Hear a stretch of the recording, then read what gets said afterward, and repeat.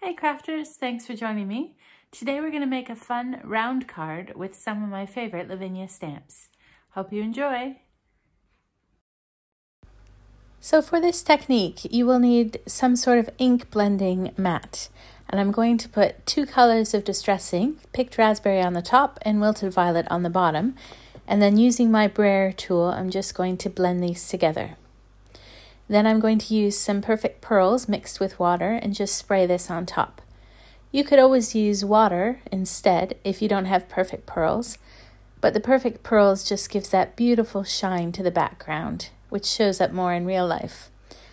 So I'm just going to smoosh my paper into the ink, and then I'm going to dry this completely with my heat tool.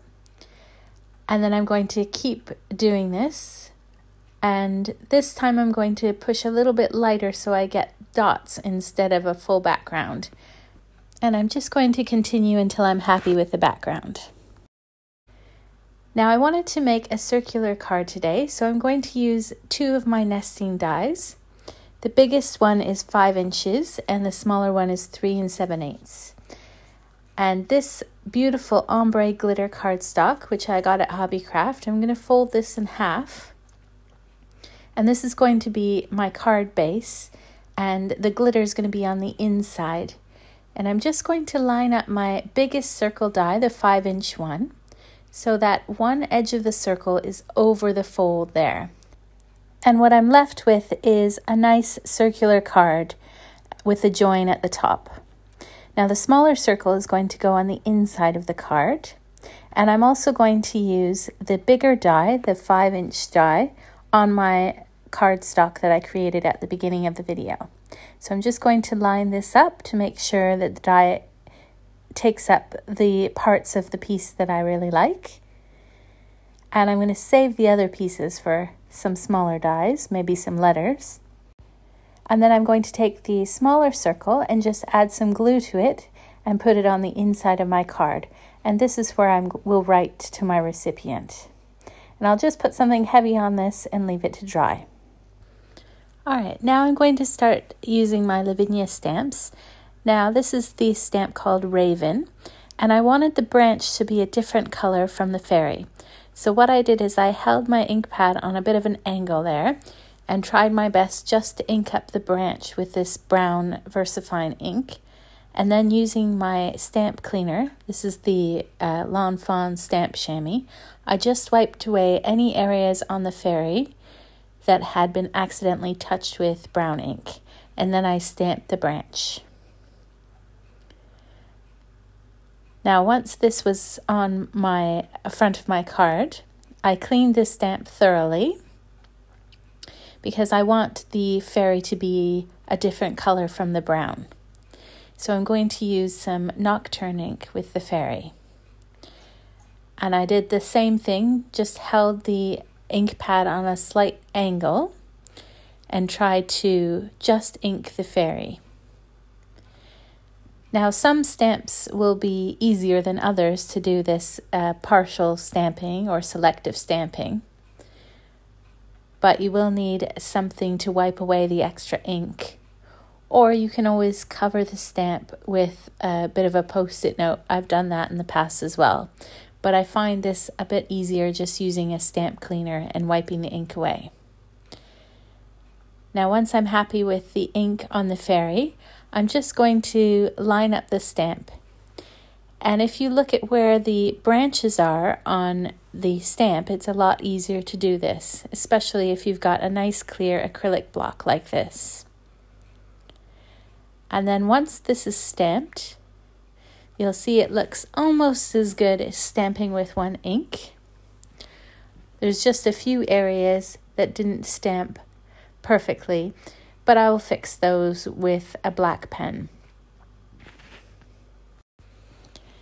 Now, if you're using a stamp which might be difficult to line up, I would suggest doing this with a stamp positioner instead but I found with this tree branch it was quite easy to see it through the clear acrylic block. Now this technique of ink smooshing is one of Tim Holtz's techniques and I find it's a great way to liven things up on your cards a little bit. and it's good when you need a break from ink blending.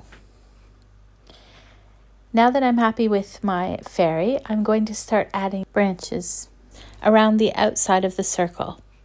Now this stamp is called Tree Branch, and it works really well with Raven, as you can see. And it's also great for adding a scene to your card. And I like to use it to create a frame.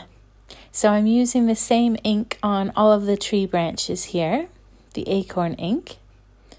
And I'm just going around the sides and the top of the card just to create a bit of atmosphere on my card here. Now I'm going to add some berries. These are the mini berries. And I'm going to do these first with the darker purple, the monarch color. And this goes really well with the wilted violet on the background of the card. And once I'm happy with um, these berries, I'm going to add some more in a different color with a slightly pinky purple. This is called Purple Delight. And this goes really well with the picked raspberry on the back of the card. I just love these color combinations. Pinks and purples are always my favorite. Now to make this look more like a background, I'm going to add some more ink around the outside of the card, but I don't want to cover up all the, the beautiful background. In real life, this pink panel is quite glimmery and sparkly with because of that perfect pearls, so I don't want to cover up too much of it. I'm just going to use a little bit of Warm Breeze, which is a beautiful greeny blue color, and I'm going to concentrate the color on around the 4 o'clock to 6 o'clock area if, if my panel were a clock there. So it's going to be light everywhere else, but darkest from, you know, 4 to 6 o'clock. This will help to make it look more like a background in a sky. Then I'm going to rotate my circle and do the same thing, but with the monarch, the purple color. So I'm going to put it lightly around the whole card, but concentrate the ink on that 4 to 6 o'clock area. And like I said, I don't want to cover up too much of that pink because it is quite shiny and beautiful in real life. And then using my nocturne, I'm going to add my sentiment, Once Upon a Dream. This is also from Lavinia Stamps. And I'm going to stamp it twice. Once it's in Nocturne, I'm going to use some of my gold ink. This is from Altenew.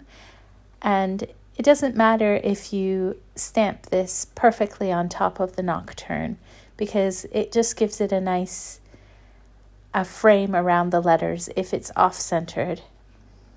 And you'll see here, it looks really nice, even if it's not perfectly lined up.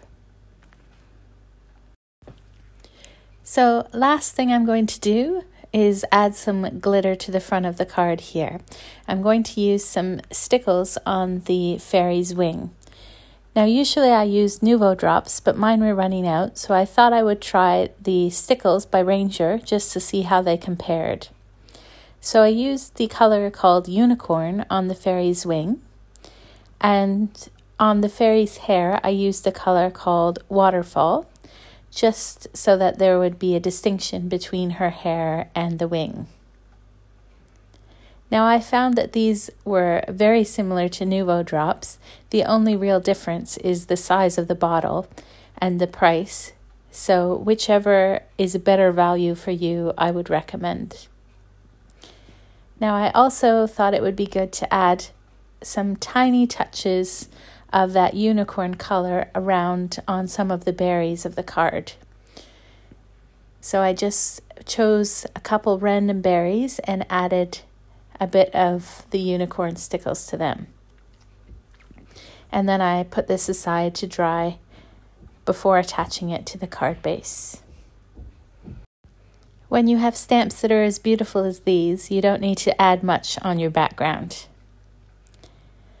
So once that's completely dry, I'm going to take my card base, and I've already put double-sided tape on this, and I'm going to line up the circle on the front of the card base.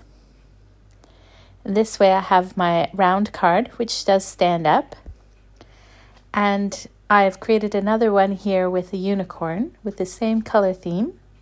And I just wanted to show you that it will fit in a six inch envelope when you're mailing it. And that inside circle is perfect for writing your sentiment. Thanks for watching. I hope you found this inspiring. Be sure to subscribe so that you're notified whenever I post a new video. Have a crafty day!